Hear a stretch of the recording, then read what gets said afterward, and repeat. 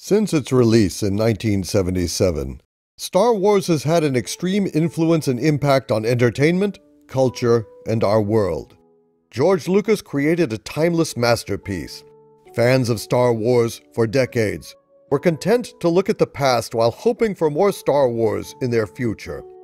After Episode 3 hit theaters in 2005, fans would keep Star Wars alive through games, animated series, novels, comic books, and various forms of collecting, while always wanting more.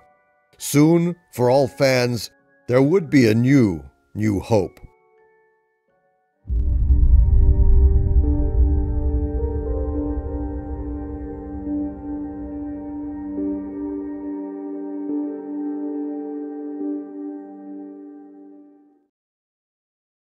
I am proud to announce the Walt Disney Company is acquiring Lucasfilm, the global entertainment company founded by George Lucas and the home of the legendary Star Wars franchise.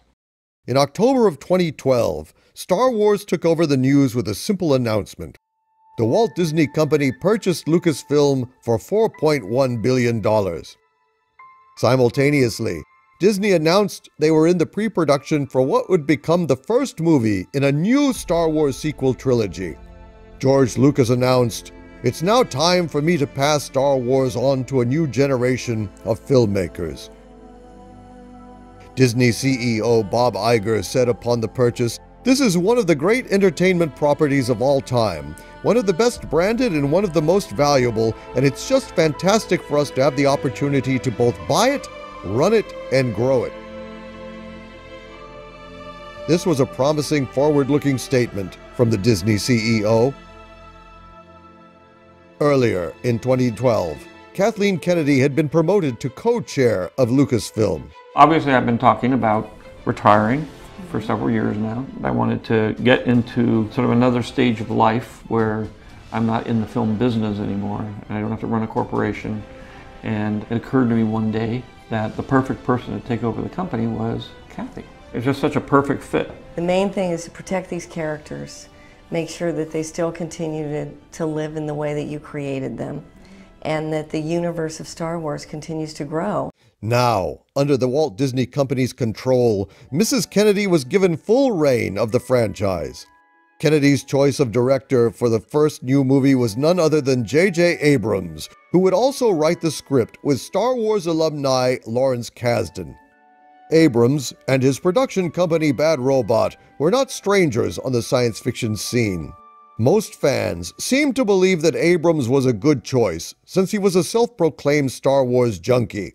It was obvious that J.J. Abrams liked to play in the science fiction sandbox, Based on critical reviews of Abrams' past work, with series such as Lost and his rebooting of the sci fi juggernaut Star Trek, some people were skeptical as he was given creative control.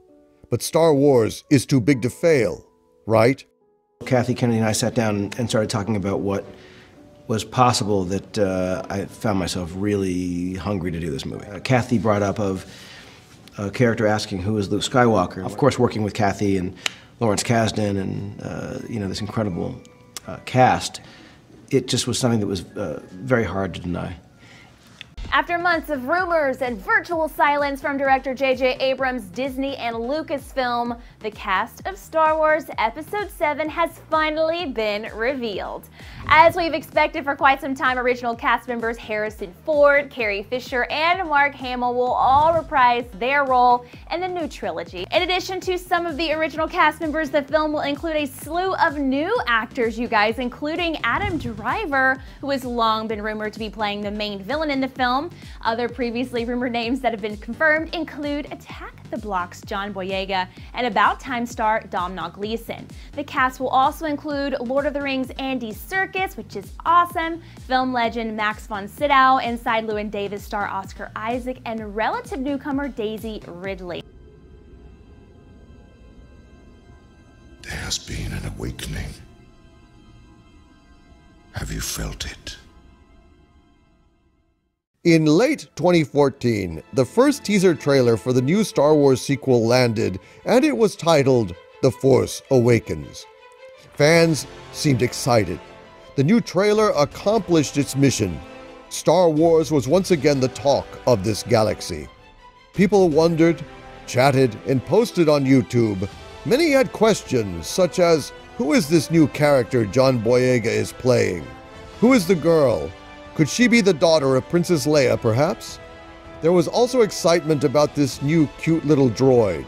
Then, in the trailer, X Wings. And of course, how could you not walk away perplexed by the custom lightsaber? Finishing off with the majestic Millennium Falcon, fans were hooked. We didn't know much, but Star Wars was back. This was a rallying call for the saga's legion of fans, and it seemed to work.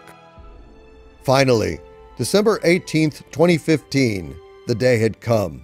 Star Wars Episode 7 is breaking all kinds of box office records and making Mickey Mouse look like a genius with his $4 billion purchase of the franchise from George Lucas. Star Wars The Force Awakens has already raked in an estimated $238 million at U.S. theaters, the biggest opening weekend in history. The movie did $248 million on opening weekend, which was the highest opening weekend of all time. The reaction from fans was mostly positive in the beginning.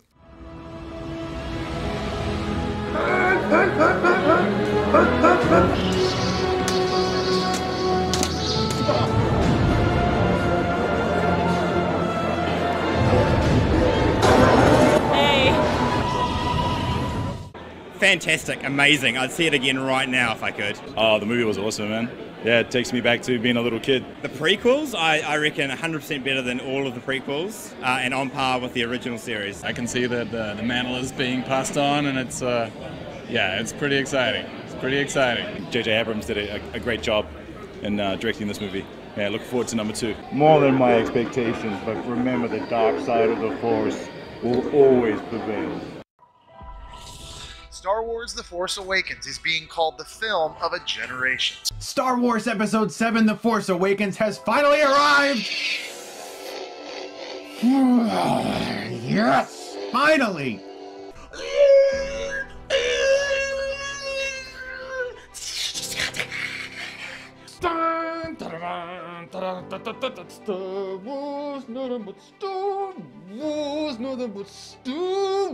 The Force Awakens, ladies and gentlemen, and I can safely tell you, Christian, I've seen the movie and it kicks ass. This is the movie you want to relaunch the greatest franchise of all time. It is so much better than the prequels, which I don't hate. It's not quite as good as the classic trilogy films, in my opinion, but my God, there's so much to love here. There absolutely is a lot to love, and what it also does is that you have to remember how much material that J.J. Abrams is cramming in 30 years of Star Wars lore into one movie, and I thought he did a really good job in doing that. Basically, the movie, so good. Thank you, J.J. Abrams, for saving Star Wars. What's up, Chodes? We just saw Star Wars. This is a spoiler. Sorry. Episode 7, The Force Awakens. Okay, first of all, did the movie disappoint? No, it did. It did not disappoint. It did not disappoint. I'm so fucking glad it didn't Wait, disappoint. wait, wait, wait, wait. We haven't had this part of the Peanut Gallery channel. Oh, yet. yeah, go ahead.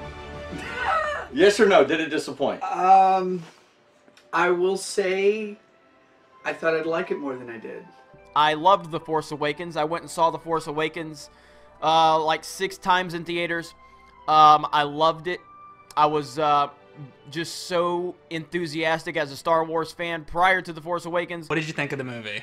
I Did thought you- it was very exciting. Exciting. I, I think exciting is the best word to describe it. I felt that the movie pretty much did what it had to do. Many were thrilled to see the return of Harrison Ford reprising his iconic role as Han Solo. John Williams created another beautiful score. There was a new generation of characters. The New Yorker reported Star Wars The Force Awakens, directed by J.J. Abrams, feels young, and as an act of pure storytelling, it streams by with fluency and zip. The Force is with us forever. Star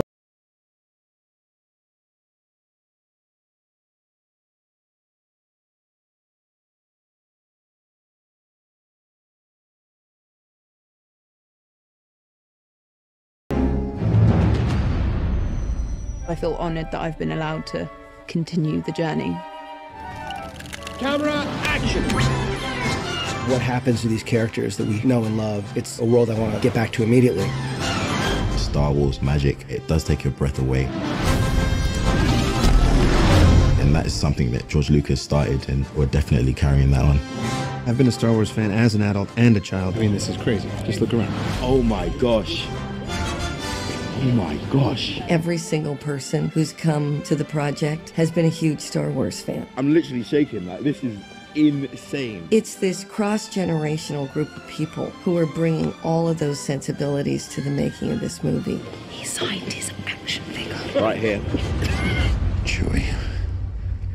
We're home.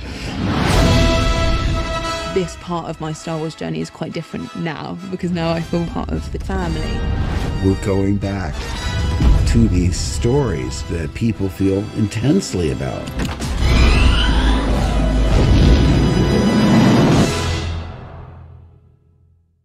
Some fans, however, had an unsettling feeling that they couldn't quite put their finger on in the beginning. Many fans went to social media to voice both their concerns and their critique of the film.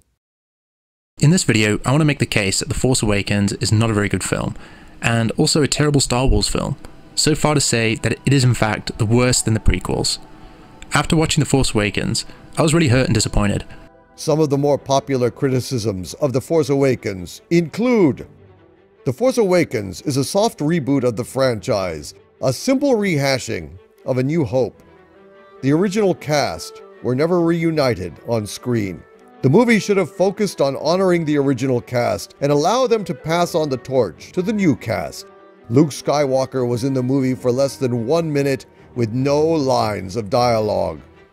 Rey is too powerful. Captain Phasma is insignificant to the movie. Han Solo is a failed father and husband who abandoned his family. Kylo Ren, the main antagonist, is whiny and childish. The Leia Rey scene after the death of Han Solo. How could they have Chewbacca, Han's best friend, walk by Leia with no thought or mention of what just took place? Why would Leia be embracing Rey in this scene? This is an insult to Chewie's character and just plain bad writing. Even with these criticisms, when the dust finally cleared, there was a reluctant optimism as most fans believed Luke will be in the next movie, so it will be good.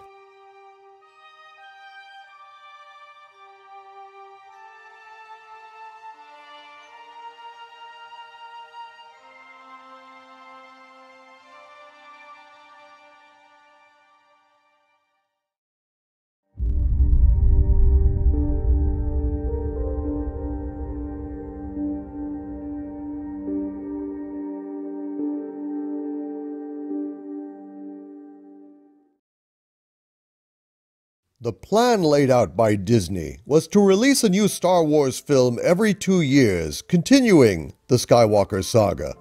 As fans left the theater in December of 2015, most began looking ahead to the next installment of this sequel trilogy, which would land on December of 2017. Between films, fans were able to go see Rogue One, a Star Wars story. Most believed that Rogue One was an exceptional Star Wars film but they yearned for what would be Episode 8. There were so many questions that needed answering, such as where did Rey come from? Who were her parents? How will Luke Skywalker impact this story since he will be back? There was a rumored spoiler that Luke saves Rey when confronting and defeating the Knights of Ren, and there was a great anticipation for such a rumor to be played out.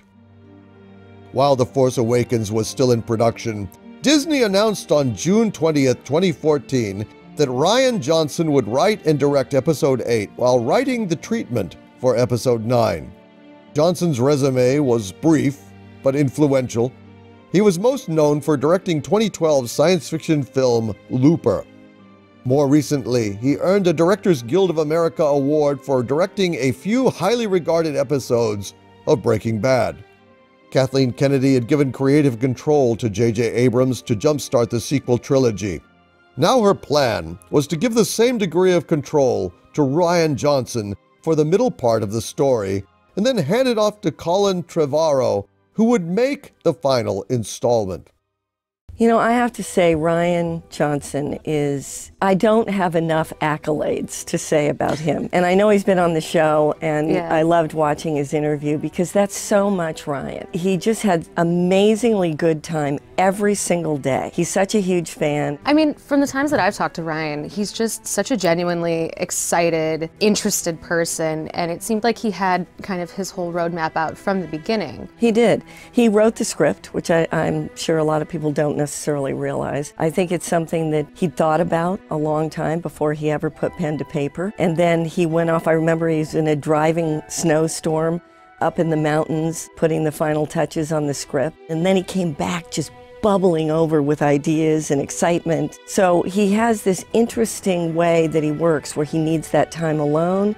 And then he's so incredibly collaborative when he comes into the process of making a movie. You know, I think he's done an exceptional job of taking these new characters and some of the legacy characters and moving us to this next place. I think he doesn't answer all the questions. I will say that up front. But Good. there are certain questions he does answer in a really wonderfully provocative way. And I think there'll be some surprises that people aren't expecting. Upon deciding to accept the role of director, Johnson retreated to the mountains where he would pen the script for what would become Star Wars Episode 8 The Last Jedi. It was unsettling for many, as fans began to realize that Disney's approach to this story wasn't like that of George Lucas. Lucas envisioned most of the saga during the writing process and had his story played out in six movies, episode 1 through 6. Unlike their predecessor, Disney's episodes 7 through 9 were not planned in advance. In May of 2017, Rian Johnson posted on Twitter, When they came to me, there was no mapped story presented beyond The Force Awakens. On February 15, 2016, Lucasfilm released a production announcement video. The movie was 22 months away from release. Fans would stay up to speed on Star Wars in the news while patiently awaiting the next step in the process the teaser trailer. While waiting for the teaser trailer, the Star Wars galaxy changed forever on December 27, 2016. Good evening, I'm Tom Llamas, in for David tonight, and we begin with the passing of a Hollywood legend and an American original. Carrie Fisher, whose role as Princess Leia in Star Wars vaulted her to pop culture immortality, died today in Los Angeles with her family by her side. She was 60 years old.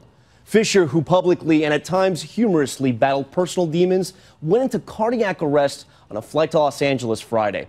The tributes pouring in as we come on the air. Her Star Wars co star, Mark Hamill, who played Luke Skywalker, tweeting, No words, hashtag devastated. That sentiment echoed tonight across the entertainment galaxy. Tonight, the world is mourning Carrie Fisher, who won so many battles as Princess Leia, but lost the final one in a Los Angeles hospital this morning. A family spokesman issuing a statement saying that Fisher passed away at 8:55 this morning. She was loved by the world and she will be missed profoundly. This devastating news came just four months after the death of another original cast member, Kenny Baker. Lucasfilm would respond with a beautiful tribute to the princess.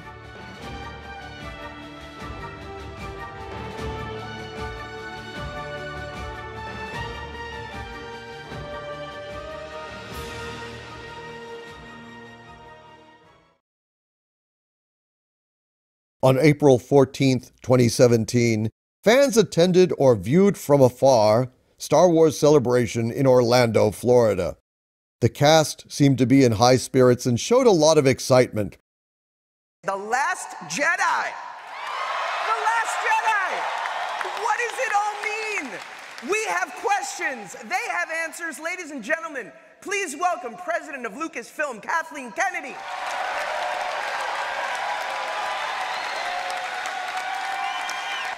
And I want to thank every single one of you out there for showing up, and not only showing up, but really showing us a lot of love because it gives us the confidence to keep going in that direction. Thank you. Thank you. We get this is the best fan family in the world, man. This is you guys are the best. The big news, however, was that the original teaser was released.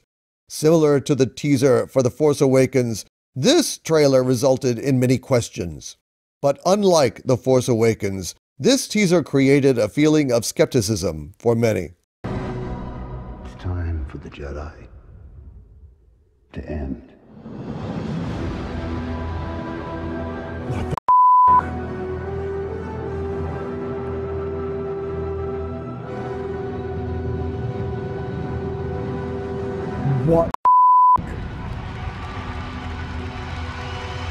I'm all glass-eyed, but at the same time I'm confused. Like, did he say it's time for the Jedi to end? Why is Luke Skywalker saying that it's time for the Jedi to end? What does the title The Last Jedi even mean? Who is the Last Jedi? Is it Luke or Rey? These questions were very concerning for many fans. One more important date would occur before the main event. On October 9th, 2017, fans were able to see the official trailer for The Last Jedi.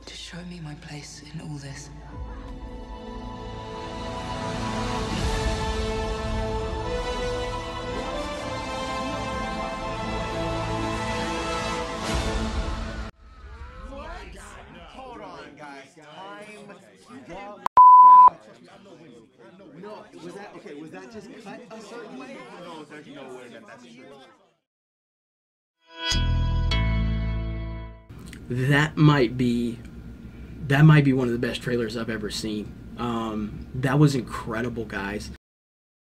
So I have to ask you the question on everybody's mind, I imagine, for the last two years. Does Luke Skywalker finally get to speak in this film? Though Luke Skywalker didn't have a speaking role in The Force Awakens, the actor Mark Hamill was always up for an interview. Coming back all these years later, what is it like to find Luke's voice again? Not just vocally, but metaphorically. What's it like getting back into this character after all these years? Did you go back and watch the old films? Is he at such a new place that it didn't matter? Well, in in seven, you discovered Luke obviously is a hermit on this island. That he's there's so much unsaid about where he's been and what he's done, and actors like to write their own backstories. You know, you want to figure out what what you've done and where you've been, and but I realized that wasn't really important to the story of Force Awakens. I still made it up myself. And, you know, I, I tried to show it to JJ, and he, you know, was accommodating, but basically patted me on the head, gave me a cookie, and made me go away. because, it, you know, whatever, make it up. I mean, they allude to things that have happened, and to a certain extent, you know, it's not Luke's story anymore.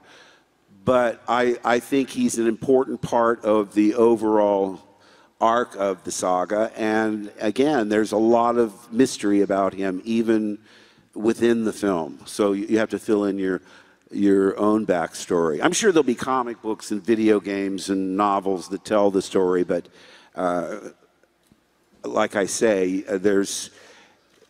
And I shared with Rian a lot of my own things. I thought I have to relate to things that are real in my own life to understand where Luke is at this point in his life. I'm So- just going to break in here and make sure that everybody out there realizes he is so significantly important to the ne- this next film. You have Oh. no idea. Well, that's good to hear. Based on his comments, Hamill came across as being uncomfortable with the movie. As he did more interviews, it seemed that Mark Hamill was doing more than simply promoting the movie. It was as if he was speaking to the fans, giving them a warning and resulting in more reasons to have concern. What was your initial reaction when you found out you were returning just for one scene? When I read Seven, I said, I love everybody's part except mine. and on on this one, it was similar in the sense that I said to Rian, I'm so surprised how you see Luke. Uh, these films now are being made by uh, children. What's the biggest difference from when we last saw Luke in The End of Return of the Jedi to when we meet him now in The Last Jedi? Who is this guy? Uh, there's been a lot of stuff like the books, video games that have added to Luke's uh, uh, journey. Yeah. because He's been looking for these Jedi artifacts Yeah. and things. How much does that play into the what, your performance? How much are you paying attention to this new canon stuff? You, you'll you'll see. So we signed on, and uh, you know, like I say, I didn't know I didn't know it was going to be bought by Disney because this was summer of 2012. Then they announced that Disney had bought Lucasfilm uh, around Halloween, which was October 30th. Uh, it was announced, and um, you know we didn't know who the director was going to be, and then then they announced J.J. Abrams, and it all came out. It was all all very very exciting, and. Uh, um, I, you know, I hope people are happy. It seems like because in Hollywood, remember, kids, it's not important if it's of high quality. Only if it makes money. The Jedi must end. It's time for the Jedi to end. Did your vision and Rian's vision, did it coincide with the way that Luke ends up in this film that, that you thought it would all these years later? No. No, not at all. How much of Luke Skywalker did you discuss with Colin Trevorrow? Uh, I had discussions with Colin, and I was very excited because we were on the same page in terms of uh, where we wanted to go and how we wanted to see Luke in a way we've never seen him, even in in this current uh, version. But I don't know what went on. I don't want to know because there's no upside to that story. I mean, I like all those people, and I like Kathy, and I like Lawrence Kasdan, and all the people that were involved in that decision. But sometimes ignorance is bliss, and they don't tell me anything. And I think it's just because the attitude of tossing on the go worked really well. So it's it's it's uh, it's still keeping that kind of like Well, see, again, I mean, and I told Brian this, it's no surprise. I said, I just fundamentally disagree with your concept of this character and how you use him.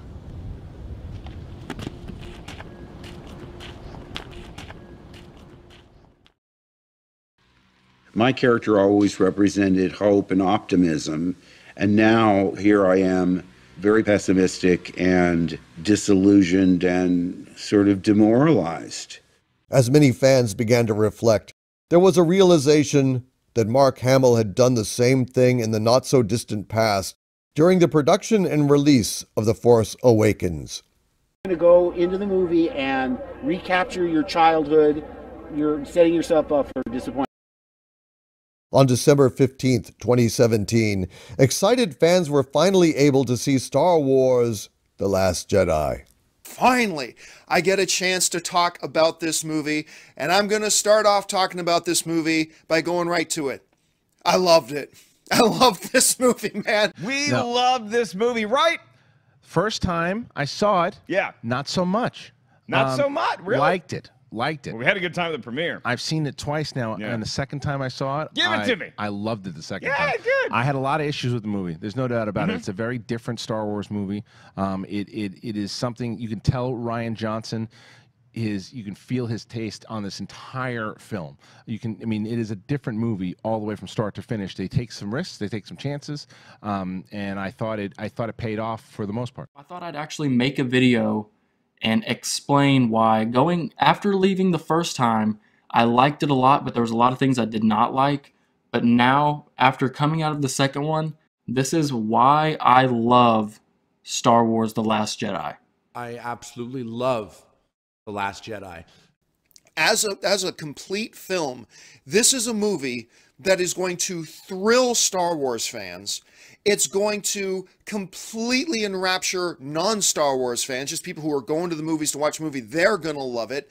It's such a beautiful balance of, you know, being connected to the overall trilogy, to the overall series, I should say, yet it stands on its own as well as a great motion picture.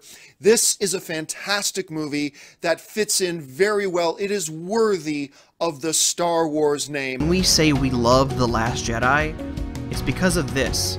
It's because The Last Jedi has been doing the thing that Star Wars has tried to do since 1977 give people hope. And The Last Jedi was what finally made me feel that too. Thanks for watching. Many fans left the theater shocked, disgusted, and hurt.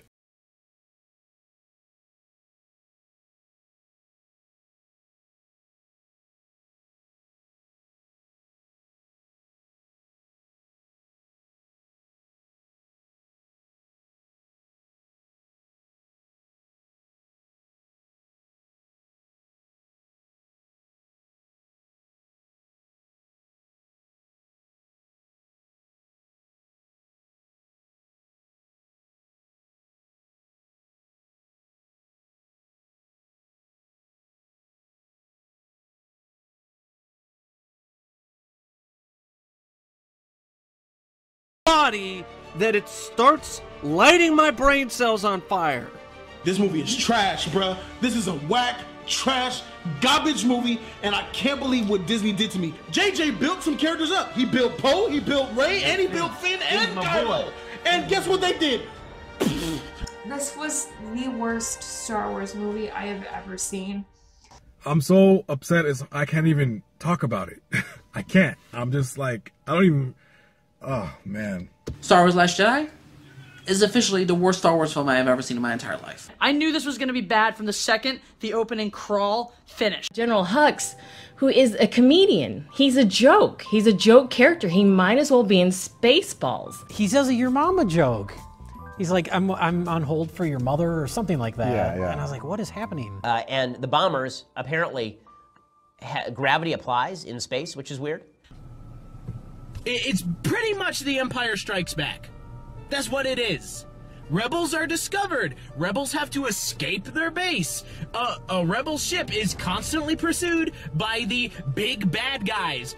The entire conflict of the galaxy has been reduced to about a dozen, maybe like eight or nine First Order Star Destroyers chasing three rebel ships the rebels inexplicably being able to just slightly outrun oh, a, a fleet oh, of Imperial. My, the yeah. whole movie focused was down focused running outer space yeah. like this for an hour. I hate the fact that this movie basically is like one ship chasing another ship.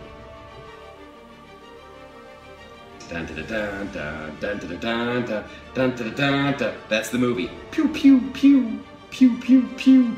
Uh, Rey. Rey, once again, did nothing. I didn't really learn jack squat about Rey. The most overly powered, worst written character of all Star Wars history. Why is she so powerful? How did she learn how to be a Jedi with no Jedi training? She flies ships, she speaks Wookiee, she speaks droid, she knows how to just instinctively use a lightsaber, and she's super freaking powerful. You just made her like perfect. I mean, she is Superwoman. She is just totally beyond uh, reproach. And then he and then he milks a giant lactating sea moose. Utterly disappointing. That was just one of the cringeworthiest scenes I've ever seen. And that was another problem that really kind of hammered it at home to me that this is not the movie I thought it would be. And Chewie, and I don't know why Rian Johnson hates Chewbacca so much, but the only thing he made him do was almost eat a porg. That's all he did. And again, it was just played out for jokes. Leia in space. Again. What? She died. I was like, oh my god, they killed her. And then she was like, no, I got the force. And then she kind of just like zoomed away. And it's like, what is happening there?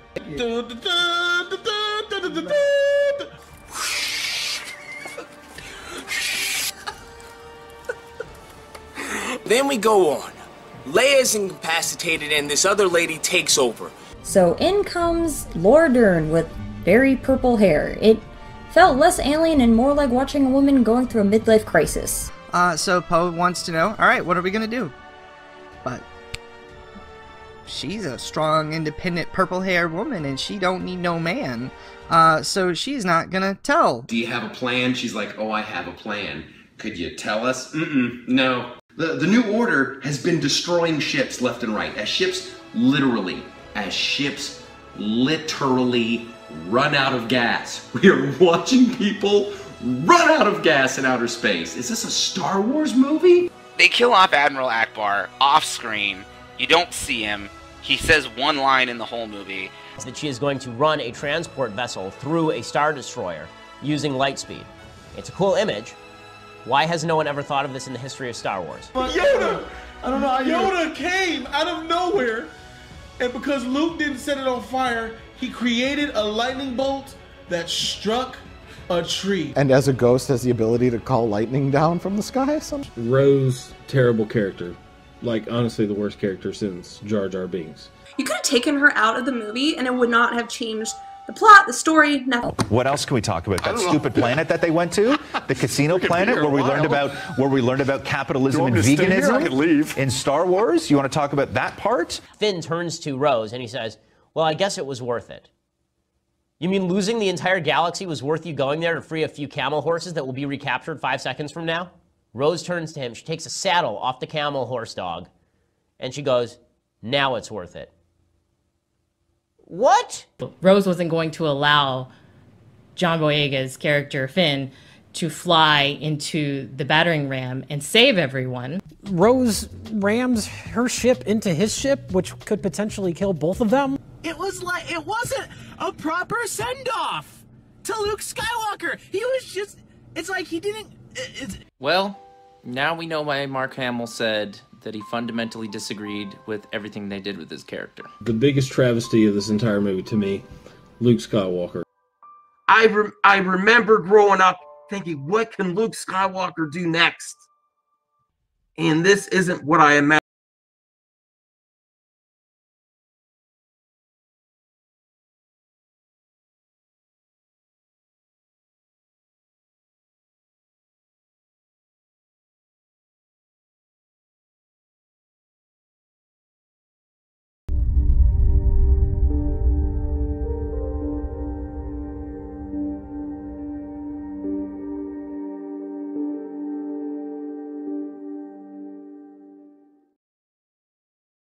It would be two long years before the next movie.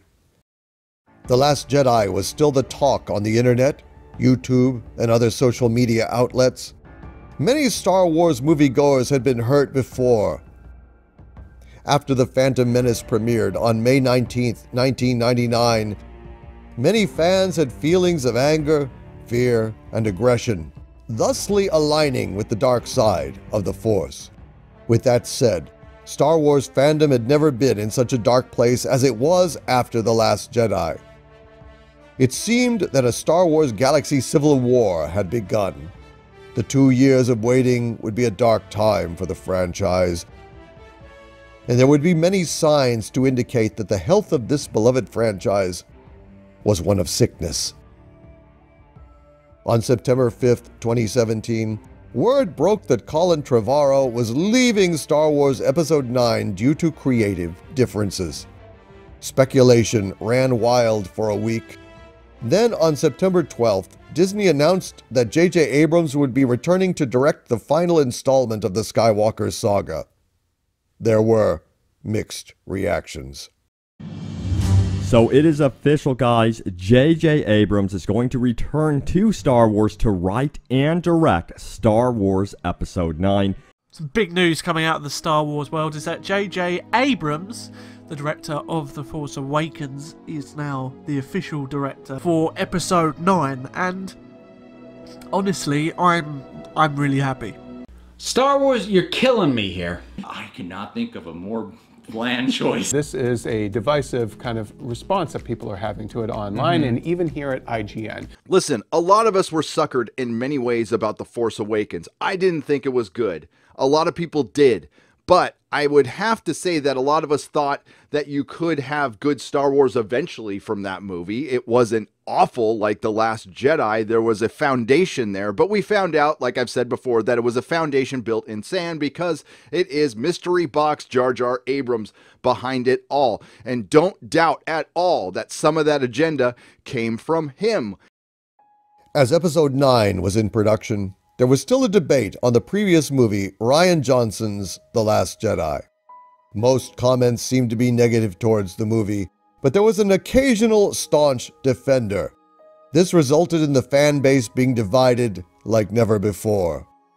It started with the website Rotten Tomatoes, commonly used by fans who want to know if a movie is worth watching or not. Rotten Tomatoes said, Star Wars The Last Jedi honors the saga's rich legacy while adding some surprising twists and delivering all the emotion rich action fans could hope for. The tomato meter, which is the rating given by movie critics, scored The Last Jedi above 90%. Conversely, the audience score had it in the 40 percentile range. Moviegoers had never seen a blockbuster film with such a gap between critical and casual reviews. As the galactic fan civil war raged on, the fan base was seeing another first. Director and writer Rian Johnson took to social media to chime in. What's up, geeks and gamers? It's Jeremy coming to you with another video, and today, Rian Johnson is breaking down right before our very eyes. This guy is losing it, and I don't know if he's just starting to realize the reality that almost every normal person has realized that either A, he's never doing a Star Wars movie again, or B, if he does one, nobody's going to care about it. Johnson would be joined by other notable Lucasfilm employees as the attack and defense continued. Many wondered if any parts of The Last Jedi would be retconned. Some fans implored Lucasfilm to bring back the character of Luke Skywalker and to portray him more like the original trilogy did.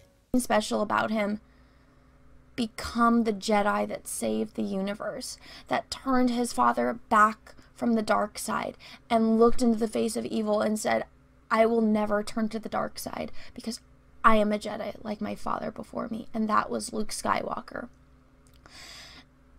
And stuff like that is what made Star Wars so great. Mark Hamill would continue to let all fans know his feelings while the movie was in production, just as he did with The Force Awakens and The Last Jedi. Now, Mark Hamill is the voice of Chucky in the new Child's Play movie. It had its LA premiere last night, and Mark confirmed Mm-hmm. that he's going to be in Star Wars The Rise of Skywalker, but he hopes it's the last time he plays Luke. This really, really, really, really going to be your last Star Wars appearance? I sure hope so. Also, on May 10th, 2018, Disney premiered a new film, Solo, a Star Wars story.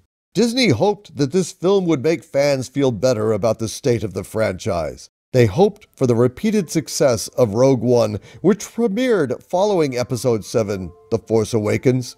The original directors of Solo, Phil Lord and Chris Miller, would be fired by Lucasfilm over creative differences of the movie, even though a large majority of the film had been shot. They would be replaced by Ron Howard, who had only 11 months to rework the project until its deadline. Solo was widely viewed as the first Star Wars cinematic failure. Many people believed that this failure was the result of the continuing decline of all things Star Wars caused by the new sequel trilogy. Something larger was happening. Something that went beyond the Star Wars cinematic films. Many believed that fans were witnessing the beginning of the end of Star Wars.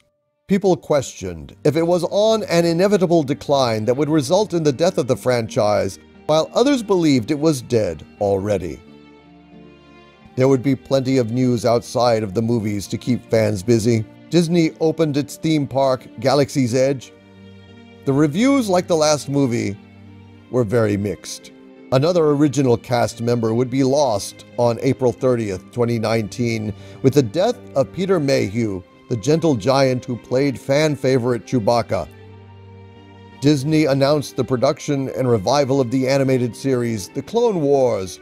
Other announcements included future Star Wars productions that would be available on the Disney streaming service, Disney Plus. These projects included a Rogue One spin off series, The Mandalorian, a new trilogy of movies that would not be in the Skywalker saga, and the return of Ewan McGregor as Obi Wan Kenobi in a new series. Another thing that kept fans busy was discussing popular theories and leaks concerning Episode 9. As more theories, leaks, and potential spoilers hit the news, more and more fans would claim that they no longer care about the franchise and that this current version of Star Wars, helmed by the Walt Disney Corporation, was not their Star Wars. As we've stated earlier, it's very hard to be blindly optimistic when we, Star Wars fans, have been dumped on for a few years. From bad filmmaking to bad PR, Disney has run you off, and there's nothing wrong with that. It's your prerogative. Speaking of, it seems to be J.J. Abrams' prerogative to try and the fans once again.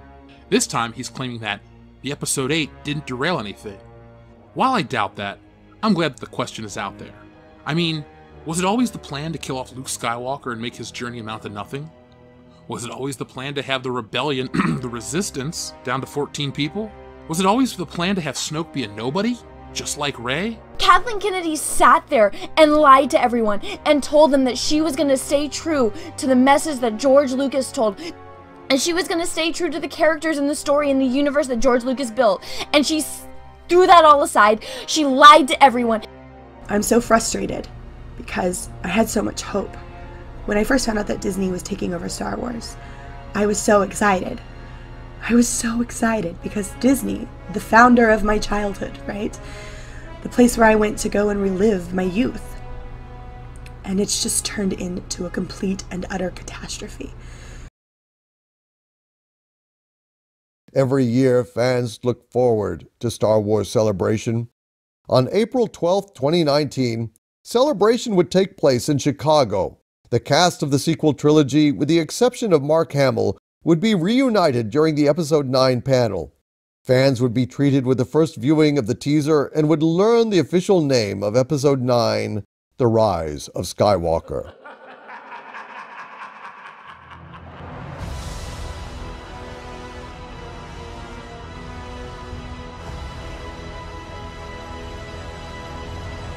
Fans would be in for a surprise at the end of the teaser.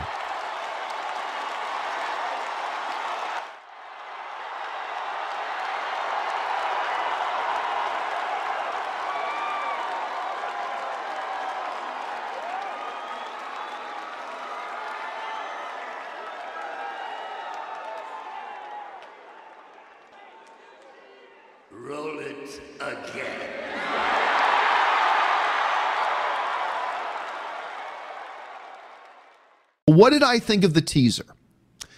Well, I said the other day that I thought it was never been more important in Star Wars history for a trailer to be good. It didn't have to be the best trailer ever, but it's never been more important for a Star Wars trailer to be good and be solid. Uh, especially coming off of the divisiveness of Star Wars Episode 8. It was vital that it's good. And I'll say this I thought the trailer was good. This is it. It's out. The Star Wars Episode 9 trailer from the Star Wars Celebration in Chicago. I'm scared to Yeah, watch the it. last one left a bad taste in my mouth. So uh, The Last Jedi, to say the least, has aged very poorly. I freaking hate it. I'm one of those that thinks that it it uh, helps divide the Star Wars fan base and it de- destroys a lot of the lore. Irreparable. Just a stupid movie. I hate it. Doesn't Um, exist. uh, initially, you know, I liked it, but we could talk more about that later. Now that is in the past. Let the past die. right? Guess Let what? us see if J.J. Abrams can somehow redeem it, right? For those of us that didn't like it. What is this? Oh, is that the radar dish from the Death Star? Were they back on Endor?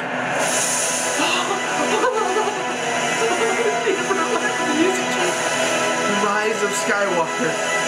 I don't immediately love that, but I'm already getting used to it. Without respect, we reject.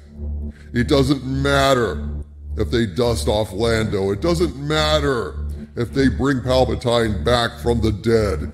Doesn't matter if they bring in Snoke or they have Kylo Ren with his helmet fixed or they have the amazing Wonder Rey doing backward flips, gymnastics in the desert. It doesn't matter if we have C3PO firing a bowcaster. It doesn't matter what degradations they put Chewbacca to. I am boycotting this movie and I'm calling for everyone who is a true fan of Star Wars to boycott this movie. Before the official trailer would be released, Lucasfilm would offer the world a glimpse of the new movie with a preview at D23. There seemed to be a sudden shift in promotional strategy. With The Last Jedi, Lucasfilm was keen to say, let the past die. With a new sizzle reel at D23, it seemed Lucasfilm would call upon the past to provide a sense of nostalgia to promote the new film. We've passed on all we know.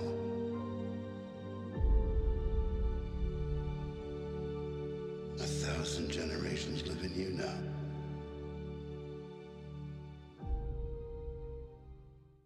The Star Wars franchise would continue to be on shaky ground. On September 23rd, there was big news of Bob Iger's memoir titled The Ride of a Lifetime Lessons Learned from 15 Years as CEO of the Walt Disney Company. Excerpts from the book depicted a very upset George Lucas with the direction of the sequel trilogy. So they decided they didn't want to use those stories. They decided they were going to go do their own thing, and so I decided, fine. But basically, I'm not going to try to. They weren't that keen to have me involved anyway. But at the same time, I said, I'm not going to. If I get in there, I'm just going to cause trouble because they're not going to do what I want them to do. So and I don't have the control to do that anymore, and all I would do is muck everything up. So I said, okay, I will go my way, and I'll let them go their way. Bob Iger says in his book, I read George's outlines and decided we needed to buy them, though we made clear in the purchase agreement that we would not be contractually obligated to adhere to the plot lines he'd laid out. He knew that I was going to stand firm on the question of creative control, but it wasn't an easy thing for him to accept, and so he reluctantly agreed to be available to consult with us at our request. I promised that we would be open to his ideas, but like the outlines, we would be under no obligation. George immediately got upset as they, Michael Arndt and Kathleen Kennedy, began to describe the plot, and it dawned on him that we weren't using one of the stories he submitted during the negotiations.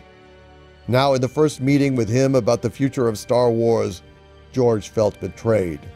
With this news, supporters of the sequel trilogy could no longer deny the fan outcry that something was amiss with this trilogy. The final trailer for The Rise of Skywalker would drop during Monday Night Football on October 21st. Tickets were also available for pre sale.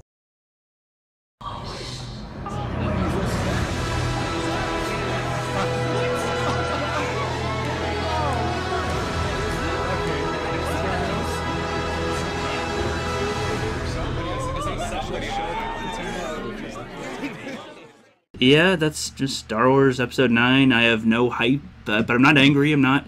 I'm not like purposefully going against it, trying to bash it. I, I just don't really care. I'm not looking for the highest news when I'm scrolling YouTube. I'm not really looking at people's videos that much for it. I mean, some if it looks like it might sort of catch my eye as a video to watch, but I don't really care for the speculation of episode 9. I don't care for the news that comes out about it. I don't care what Rian Johnson says. I mean, his movie's done. It's over. That was over a year ago. Uh, we had it. We got our say out. We got most of what we, you know, all all our concerns out. And we, you know, responded back to people that were saying crap about us. Um, it's just, yeah, I'm just kind of done talking about it. Fans and critics alike would have to wait less than two months for the December 19th release date. The Rise of Skywalker, rated PG-13, now playing. These stars will be out in Hollywood tonight as the final chapter in the Star Wars saga makes it into its world premiere. It seemed a large percentage of the general audience favored this movie a lot more than The Last Jedi. It's opening night, and the force is strong with the first crowds to see the rise of Skywalker. It was a really fun night out here at the movies, and most of the people that we spoke with said they were really happy with the way this film turned out. Many of them lowered their expectations so they wouldn't be let down after the first round of film reviews were rather critical of the storyline. Now, this film has been getting mixed reviews in the press, but the fans say the force is still strong. Almost got teary eyed, but I helped. oh, it was exciting. A lot of tear jerkers. Oh, I will be definitely singing it again. Several times. Probably the best in the trilogy, this new trilogy. And I think it did justice. There was some course correction that I think was well needed. This movie was so incredibly good. I mean, this was so So well done. This movie, Episode 9 The Rise of Skywalker, in my opinion, was really amazing. I think I liked it. I think there's definitely parts about it that I liked. There's definitely scenes in it I like, and there's definitely plot points and ideas that I liked. The movie was great. Knowing the leaks beforehand helped me know what to prepare for, so I wasn't surprised at anything. It was a fun movie to watch, nice story, closure. It's good. As time has gone on, people have kind of forgotten what Star Wars was about, and really it was just about like you know having a good time, uh, you know, transporting yourself to a land far, far away, and just just enjoying something new. Disney is expecting weekend sales to reach about $160 million. Sounds like a lot of money, but that will still be about $60 million less than when The Last Jedi opened two years ago. Just like before, to their horror, many left the theater disgusted and in disbelief in several of the creative choices made by Lucasfilm.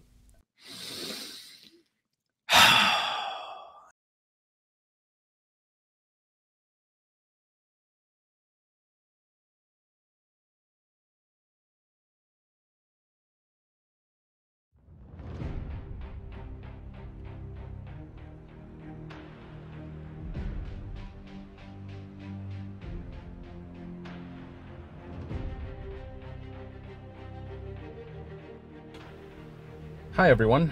So uh, I just finished watching Rise of Skywalker.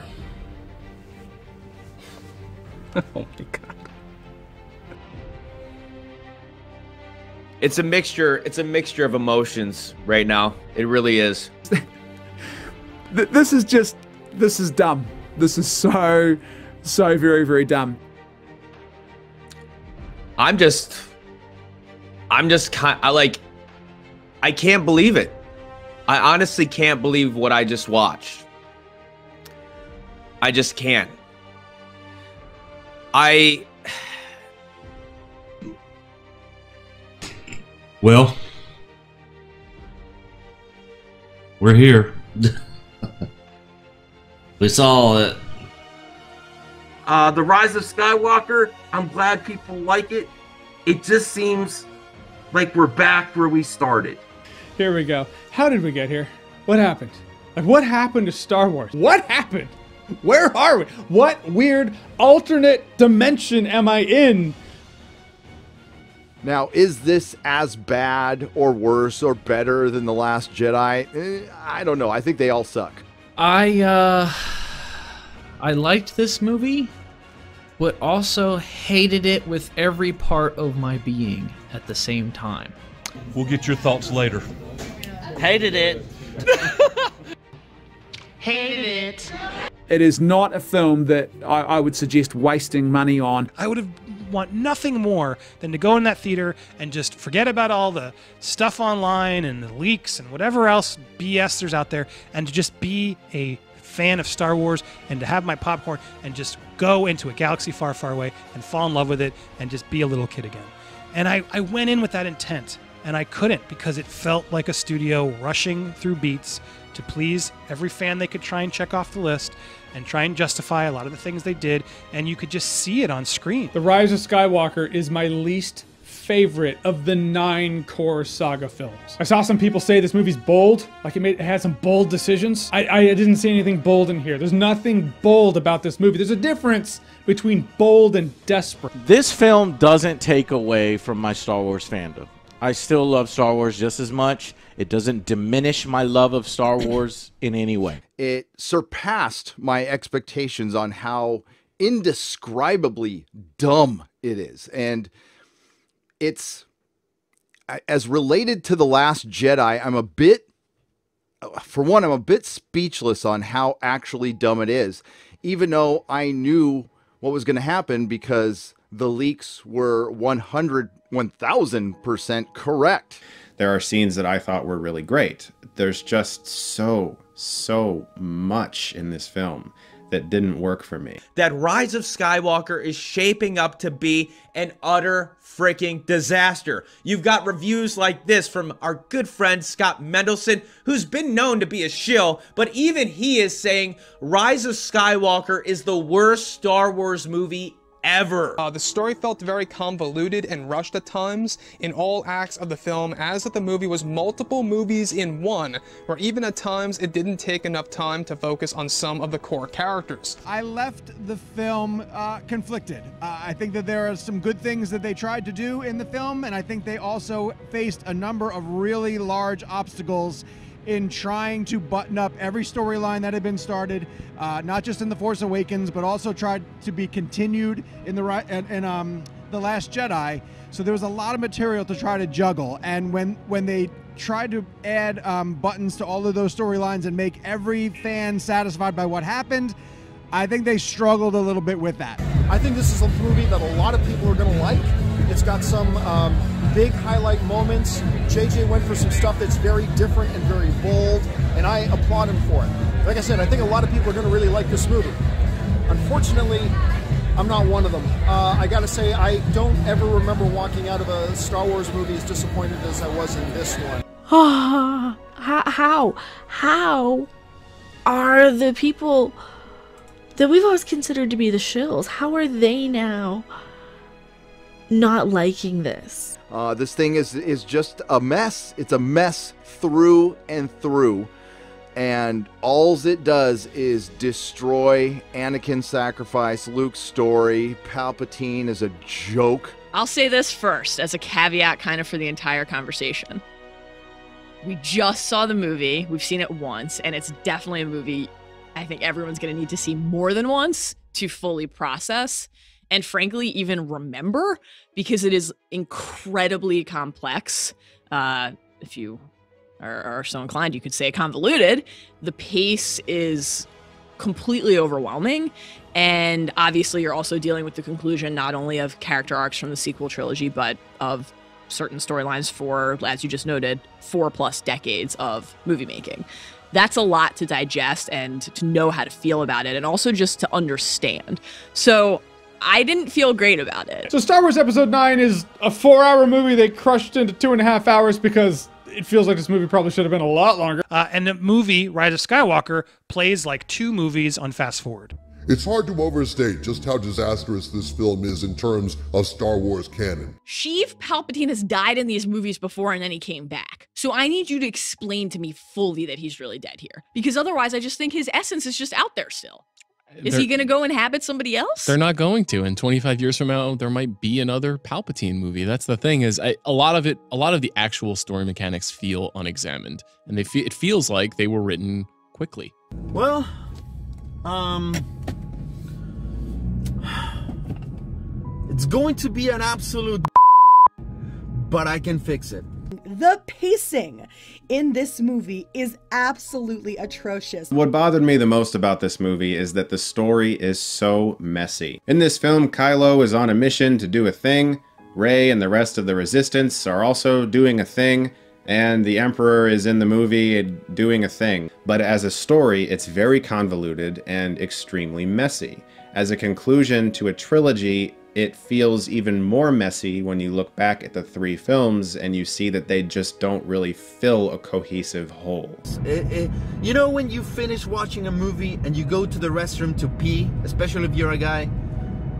That was the saddest and most quiet pee session I've ever been part of.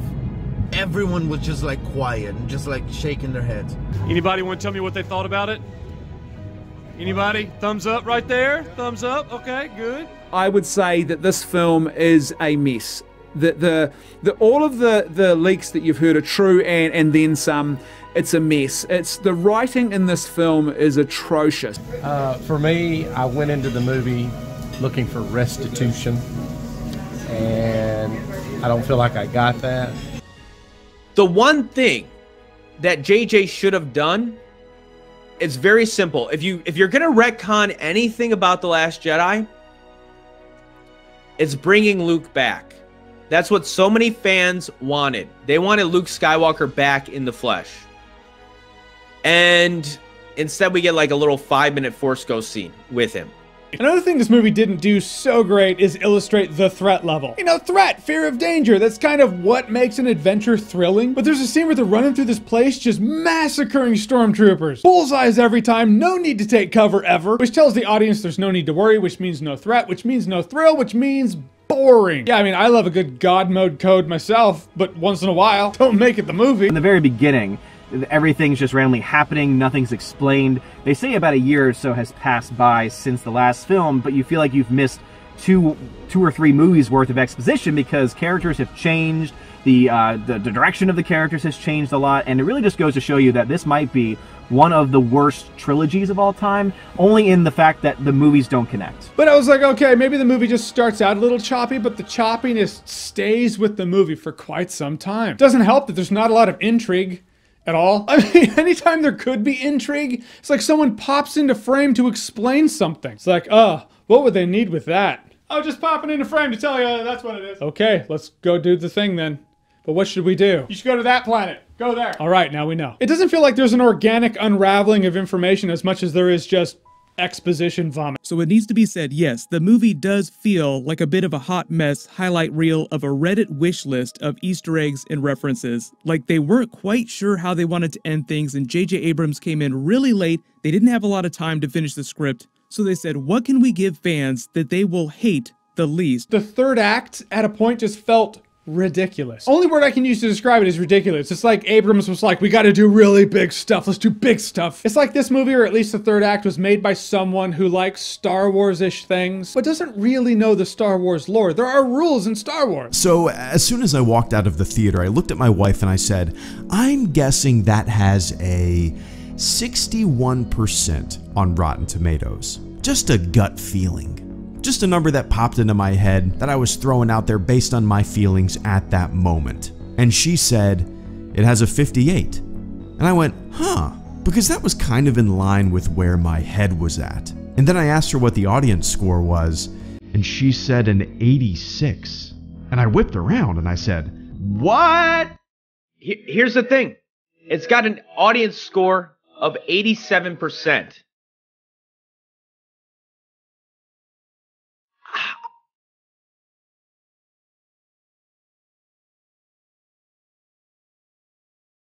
Now, the critics are out there trying to blame us for this disaster, and that's their spin. It's almost like they got together and agreed upon a narrative, uh, maybe even, maybe even a narrative that came from Disney, if we want to play some 4D chess here.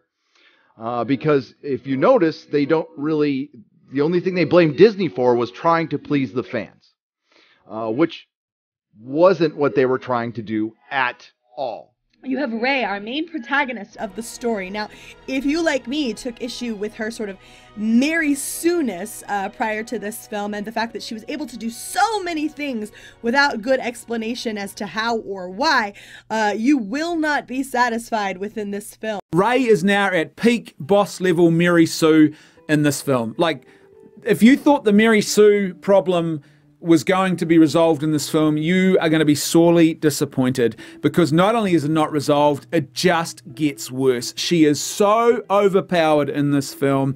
It is absurd and it creates all sort of stupid contradictions. Rey is so OP in this movie. She's so she is so overpowered. She's more powerful here than you've ever seen her. Moments where our main trio was supposed to be, uh, I suppose, depicting their relationship to us, their friendship to us. Also, are they friends? Are, are Poe, Finn, and Rey, are they actually friends? One thing I noticed in this movie, you look at Return of the Jedi, you even look at Anakin and Obi-Wan by the time Revenge of the Sith happens, at least in the first part. They have their bickering. Obi-Wan rolls his eyes a few times, shakes his head maybe, but you can tell they do have a friendship. There's a kinship there. Everyone in Return of the Jedi is like, all oh, kumbaya all the time. One time, Han Solo kind of exploded on Leia. Could you tell Luke? Is that who you could tell? He's like, all right, come here. I'm just I'm sorry. I'm sorry. Rise of Skywalker, they just, they bicker and argue over each other all the time. That kind of arguing that just gets your anxiety up. You're like, God, can, you all can't wait for this to end too, huh? Oh, man. If you're on the fence, just save your money. Don't give it to Disney, please. Please. I I wanted to see this for me was like I wanted to attend Star Wars' funeral Like, I just wanted to go. I figured I'd give my respects. I wanted to see how my favorite franchise died. And I, that's why, if it was up to me, like, if I knew what I knew now, I would go back and not give Disney my money because I just feel so horrible.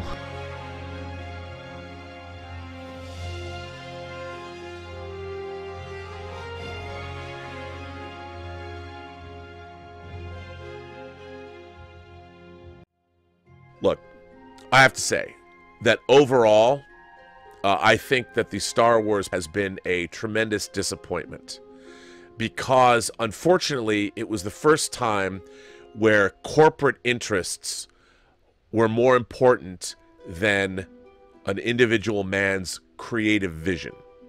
It's a fact of life that when a corporation like Disney buys your product, Disney was buying Star Wars with the express purpose of selling it to the most amount of people on multiple platforms theme parks, apparel, toys, and then, of course, movies and TV shows. But when you do that, that means that a corporation's interests always come before the truth of the story that you want to be telling. And I, I, think that's no way to make films. But if people were to allow this whole trilogy to stand and just sort of carry on as if it's now part of of the actual canon, the lore, the mythology of Star Wars, what does this mean? Well, what it would mean is this that basically Disney have now completely um, destroyed, well, not completely, but they have hugely undermined and done major damage to the original source material. They have actually actively attacked the mythology of Star Wars by doing what they have done. So this isn't just some sloppy writing, this is things and decisions and storytelling decisions that are so bad that they now have profound ramifications for the original trilogy, the original story, the original mythology, the original source material. Uh, they have taken one of the greatest stories in uh, American history. I mean, really, probably the greatest story in American history as far as film is concerned, and flushed it down the toilet so they could get a few extra bucks so they can squeeze the blood out of the nostalgia turnip. I would say to to people that, that what needs to happen now is Disney just needs to stop making Star Wars movies full stop and, and, and they need to have a very serious, cold, hard reevaluation and an honest critique and evaluation of their own performance in all of this. It really has been an insane ride. It's finally come to a close with the rise of Skywalker, and finally, like Leia slowly waking up in dead space after being blown out of her transport in The Last Jedi, I woke up to the fact that something I once loved was changed forever. But suffice it to say, for a fan of that galaxy far, far away, the rise of Palpatine is the fall of Star Wars. From the center of the earth, this is Dictor Van Doomcock bidding you all, my friends, stay angry. all right, dude. It's been 28 years. And it's finally over. Yeah, all done until until the next one. As individual movies, you can argue that they're good or bad. But as a trilogy of films, it is a disjointed mess. Look, I don't hate JJ. I don't hate Rian. I don't hate Kathleen. I'm frustrated. But I do think uh, this sequel trilogy was a letdown. That's the inherent problem uh, of when a corporation buys something, a corporation doesn't know how to tell a story.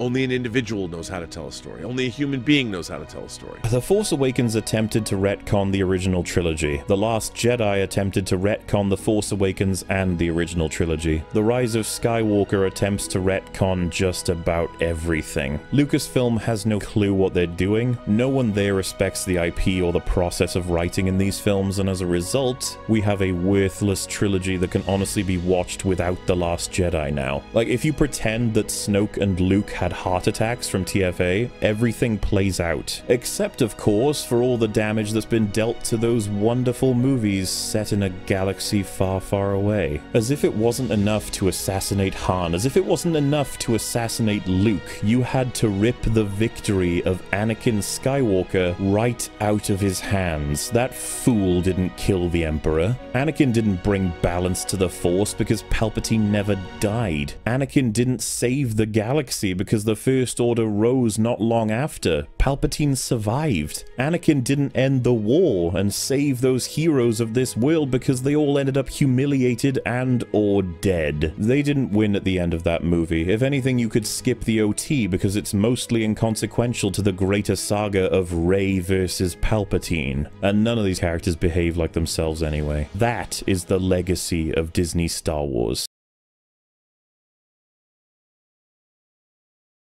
So whether you loved it or hated it, the Disney sequel trilogy has ended, and many fans wonder, where will Star Wars go from here? Only time will tell, but we hope it returns to the love of the past.